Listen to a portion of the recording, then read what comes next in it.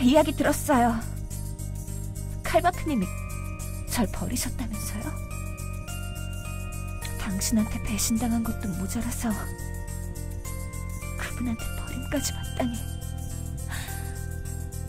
이제 모든 게 아무래도 좋아졌어요. 학교도 수용소도 똑같았어요.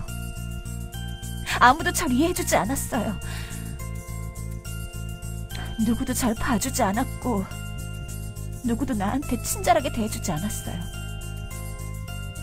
하지만 칼바크님은 달랐어요. 그분은 있는 그대로의 저를 봐주시고, 인정해 주셨어요. 그런 그분이 저를 버리셨으니, 이제 전 끝났어요. 고개를 들어요, 유아나 씨. 당신을 인정한 건 그 남자뿐만이 아니니까. 저도 당신이 가진 능력을 인정하고 있어요. 그러니 이제부터 저를 위해 일해주세요. 누가 당신을 위해 일할 것 같아요?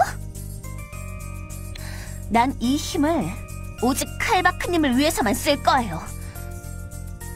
한 번 마음을 준 상대에게는 끝까지 충성하는군요. 그 점도 마음에 드네요.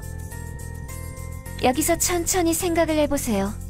시간이라면 충분히 드릴 테니까. 아무리 기다리셔도 제 대답은 달라지지 않을 거예요. 전 칼바크님을 위해서만 이 힘을 쓰겠어요. 설령 칼바크님이 저를 버리셨다고 해도요. 가서 내 지시대로 움직여.